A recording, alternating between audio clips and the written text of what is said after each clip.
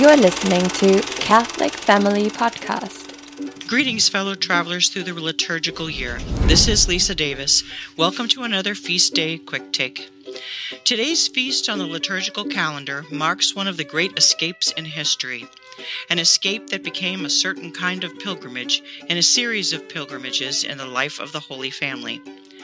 Defined in my trusty, dusty old dictionary as long journeys or searches, especially ones of exalted purpose or moral significance, pilgrimages grew up in the footsteps of Abraham and Moses, making long hikes not only an important factor in Jewish religious custom, but also just a necessary fact of life. If you think of the many journeys in the life of Christ as holy quests, little Jesus had already completed the very first pilgrimage of the New Testament before he was three years old, when he was taken out of Judea by St. Joseph and the Blessed Mother in what is now known as the flight into Egypt. I remember being distinctly disappointed as a child to find out that the flight into Egypt had nothing to do with flying.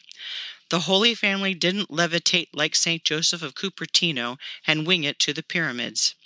On the contrary, it was a long, slow plod that would have taken at least a week. There were no planes, trains, or automobiles, and God did not provide a miracle to move the Holy Family all those miles. When God charged St. Joseph in a dream to make haste in removing the Christ child from the treachery of Herod, the Holy Family had no choice but to strap on their sandals and walk to pack up their few meager belongings, wrap up baby Jesus, and slip out into the dark of night, with murderous Roman soldiers hot on their trail. Such perfect faith and obedience to the will of God to have done such a thing. Imagine how we would flinch at doing such a thing if it meant we were having to pack up a car and make haste to Egypt. But there were no climate controlled minivans for the Holy Family.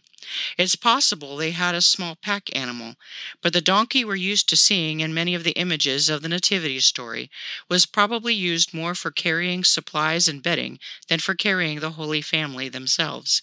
This is a point that historians of this era agree upon. If they owned a donkey at all, it would have been a small one, and it would have been spared any long distances carrying the weight of a person, a practicality that would not have been considered strange at all to the Blessed Mother. She would not have been offended the people of ancient Judea were accustomed to walking.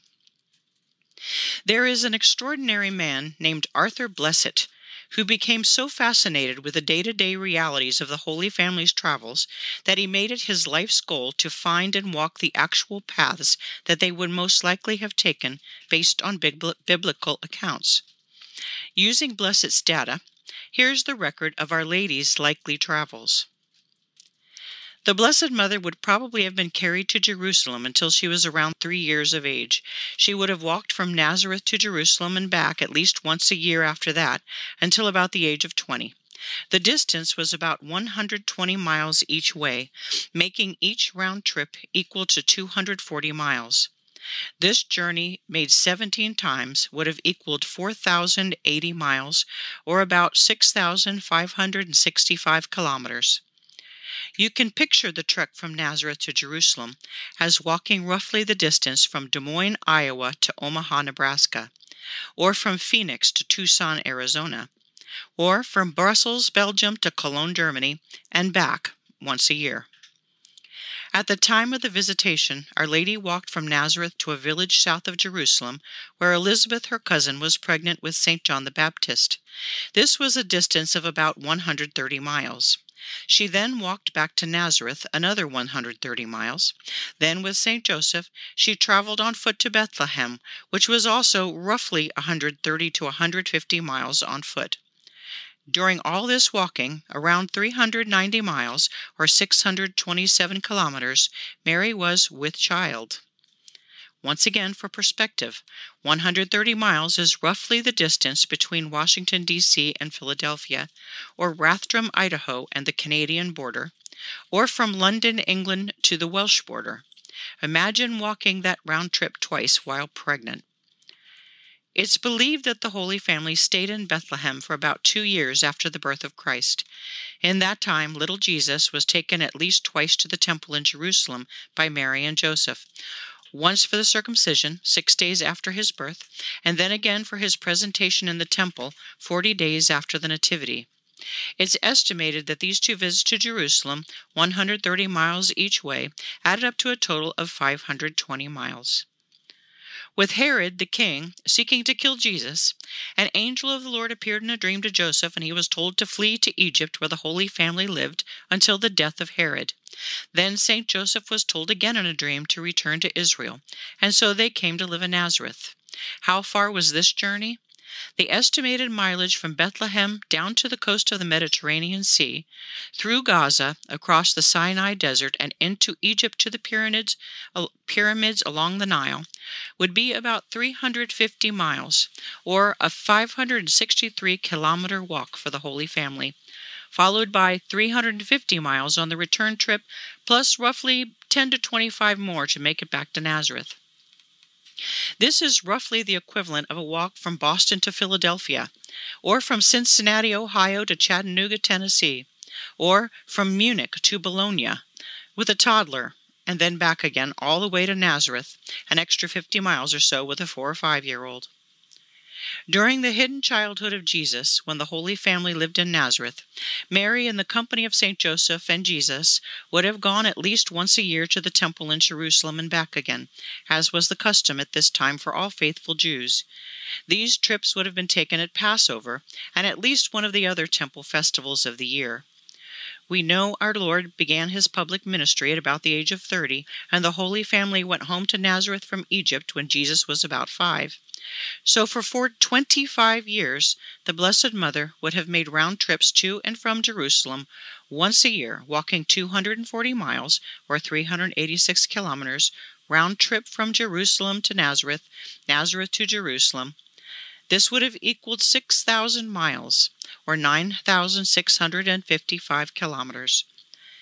Though we don't know for sure how often or how far she traveled during the three years of Jesus' public ministry, we do know through the scriptures that Our Lady attended the wedding in Cana with Jesus and that she was present in Capernaum, that she would have traveled from Nazareth to Jerusalem for the Passover each of these three years, and that she stood at the foot of the cross at our Lord's crucifixion in Jerusalem. We can estimate the miles of Mary's walking during this time at around 912. So let's do the math. Our Blessed Mother walked 4,080 miles from Nazareth to Jerusalem before the Annunciation, 390 miles while with child, 520 miles from Bethlehem to Jerusalem twice, 350 miles from Bethlehem to Egypt, 400 miles from Egypt to Nazareth, 6,000 miles from the time Jesus was five years old until he was 30, and a possible 912 miles during the public ministry of Jesus. This all amounts to 12,652 miles, or about 20,361 kilometers, that Our Lady walked by the time she was 50 years old. For perspective, note that the distance around the world of the equator is roughly 24,901 miles, or 40,074 kilometers which means that during her lifetime, Mary, the Mother of God, walked at least half the distance around the world. And she makes that walk again with us every time we pray the Rosary. If you think of every rosary as a pilgrimage through the life of Christ, our Blessed Mother has circumnavigated the globe thousands of times, maybe millions. She's set foot in every corner of the earth, taking these walks with millions of Catholics over these many centuries. Think of it. We keep her company on her journey, she keeps us company on ours. Don't miss your daily walk with Jesus' mom. This is Lisa signing off. You've been listening to the Catholic Family Podcast. If you enjoyed this show, please share it with your friends and family.